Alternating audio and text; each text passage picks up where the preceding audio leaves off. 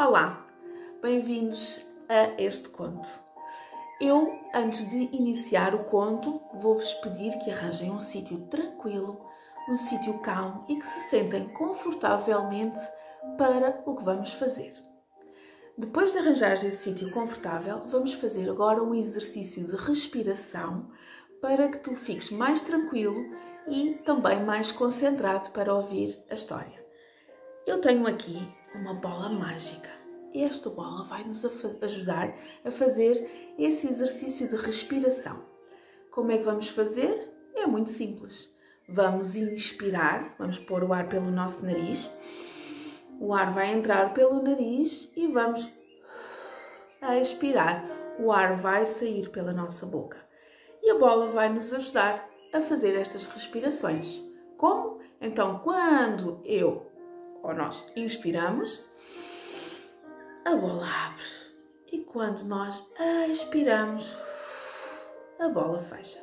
Vamos então nos concentrar e vamos fazer este exercício juntos três vezes. Vamos então, se quiseres, podes fechar os teus olhos e vamos começar. Vamos inspirar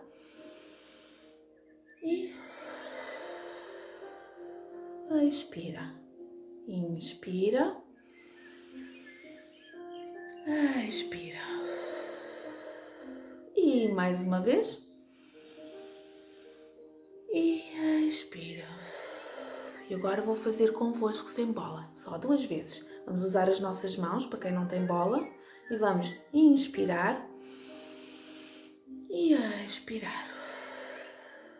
Inspira, abre as mãos. Expira. Fecha as mãos. Muito bem, sinto que agora estás confortável para ouvir esta história e muito mais tranquilo. A história que eu te trago é esta e chama-se O Lobo que Descobriu o País dos Contos. Vamos então lá ver o que este lobo andou aqui a fazer.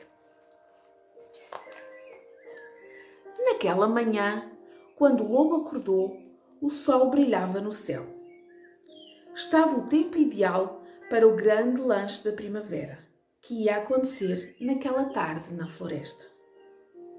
Este ano, para o lanche da primavera, vou fazer um bolo de maçã, pensou o lobo. O único problema é que eu não sei cozinhar. O lobo pegou num cesto e partiu para a floresta. Ia certamente encontrar alguém que o ajudasse. O lobo andou durante um tempo sem encontrar ninguém, até que, ao fazer uma curva, deu de caras com três porquinhos que estavam a construir as suas casas. Socorro! O lobo! gritaram os porquinhos. Ele vai devorar-nos! Horrorizado, o lobo exclamou: Comer três porquinhos? Nem pensar. Tu vais soprar, soprar para ver as nossas casas irem pelo ar, responderam os porquinhos. Não, a única coisa que eu quero é aprender a fazer um bolo de maçã, porque eu não sei cozinhar. Surpreendidos, os três porquinhos olharam uns para os outros. Hum, e se lhe dessemos a receita da tia Rosette? Afinal, o bolo de maçã dela é o melhor do mundo, disseram os porquinhos. Muito bem, mas com uma condição. O lobo vai ter que nos ajudar a acabar as nossas casas, acrescentou o porquinho mais velho.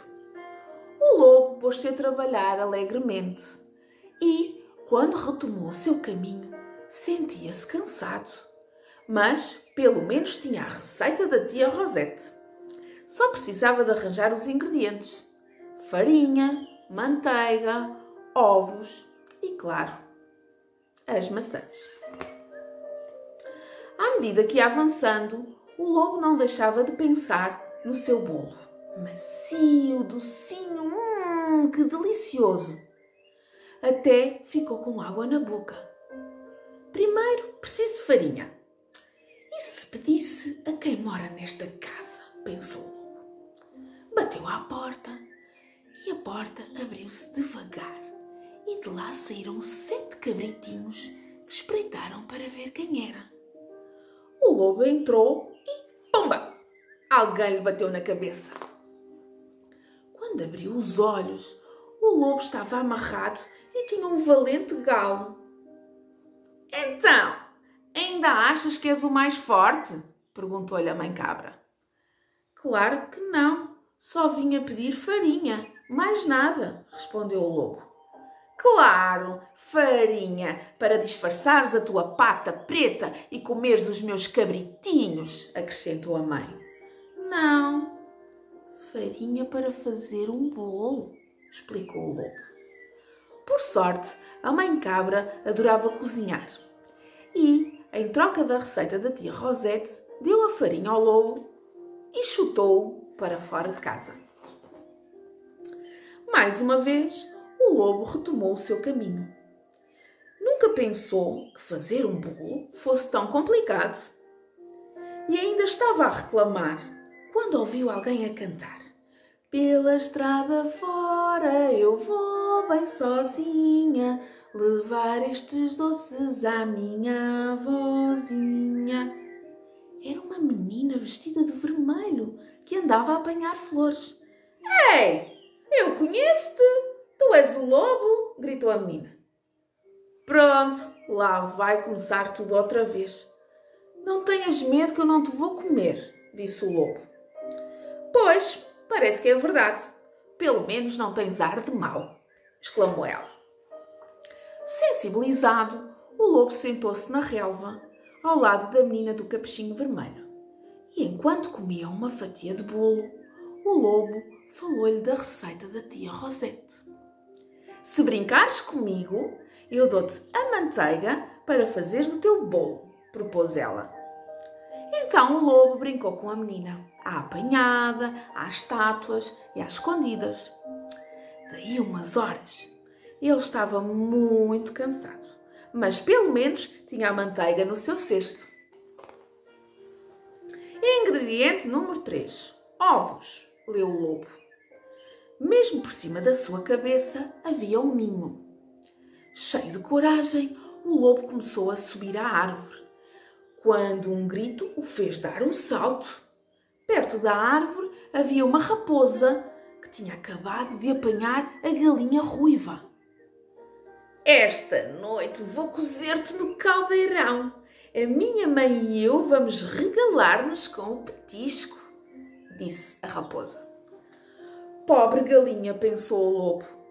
Não posso deixar que isto aconteça. E sem fazer barulho, o lobo desceu do seu poleiro e seguiu a raposa. Esperou que a raposa adormecesse e tirou-lhe a galinha. Pobre de mim! Escapei à raposa e agora vou ser comida por este lobo, lamentou-se a galinha. Calma, eu não te vou comer, prometeu-lhe o lobo. Anda, vamos fugir daqui. Para agradecer ao lobo, a galinha ruiva prometeu-lhe que ia fazer umas calças que o iam tornar o lobo mais vaidoso da floresta. Não precisas de ter trabalho, obrigada. Eu prefiro antes que me arranje uns ovinhos frescos, explicou o lobo. O lobo retomou o seu caminho até que, à sua frente, lhe apareceu uma casa feita de bolachas, biscoitos, açúcar e guloseimas. Hum, vou levar um pouco deste cano feito de açúcar porque preciso dele para a minha receita, exclamou o lobo. De repente surgiu uma bruxa. Quem é que anda aí a comer? Um lobo! Então vou transformá-lo numa galinha. Assim poderei fazer uma canja deliciosa. Nem penses! gritou o lobo e fugiu. O lobo correu, correu, correu e, já sem fogo, chegou a uma casa e decidiu entrar. Olá, meu amigo! Quem te persegue? cumprimentou a Branca de Neve. Uma bruxa! Uma bruxa que me quer transformar numa galinha, explicou o lobo. Não tenhas medo. Aqui ela não vai conseguir encontrar-te. Descansa junto à lareira, pareces muito cansado. Mal se sentou, o lobo adormeceu. Quando acordou, o lobo contou a sua história à Branca de Neve. O lanche, a receita da tia Rosette e todas as coisas estranhas que lhe tinham acontecido. Mas isso é normal, porque esta é a floresta dos contos. Olha, aqui tens uma linda maçã para o teu bolo, disse a Branca de Neve. O lobo olhou para a maçã com algum receio. Juro que a rainha má não lhe tocou, disse a Branca de Neve. O lobo agradeceu-lhe, mas estava muito confiante. A seguir, a Branca de Neve levou o lobo para se ver ao espelho. Espelho meu, espelho meu, há algum lobo mais bonito que eu? perguntou ele. E o espelho respondeu: Tu, lobo, tu és o mais bonito. E se ele ficasse conosco, Branca de Neve? Não, querido espelho, disse a Branca de Neve. Deixa-o ir para a floresta. Mas antes. E deu-lhe um beijinho no focinho. Ele sorriu, começou a ficar com as bochechas vermelhas, um pouco envergonhado, mas a verdade é que tinha mesmo que ir. De volta à casa, o lobo sentia a cabeça completamente zonza. Valia-lhe o seu cesto que estava bem cheio. Boa! Tenho todos os ingredientes para preparar o meu bolo. Depressa! Mãos à obra! Na cozinha, o lobo seguiu a receita da tia Rosette. Cortou, juntou, misturou e mexeu. E depois de cozido, o bolo ficou bonito e dourado. Nesse momento, ouviu um barulho. Estavam a bater à porta. Olá, querido lobo! Viemos para o lanche, disseram os amigos. Eram horas do grande lanche da primavera. À volta da mesa, os amigos do lobo já estavam sentados, impacientes para provar todas aquelas delícias irresistíveis.